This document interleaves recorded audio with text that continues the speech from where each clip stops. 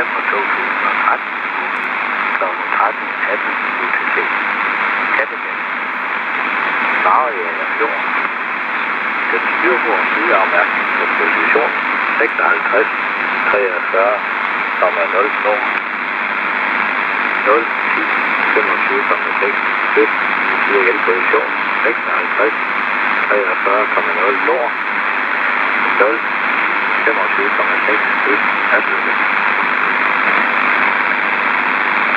navigationsadvarsel nummer 261 fra den 3. september kl. 06.08 Solår.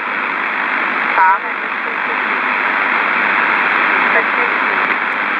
Bagside af patienten i nord på position 5503,6 nord 01038,2 øst er lukket.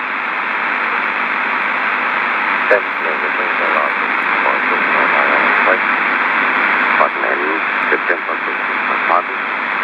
Galje 20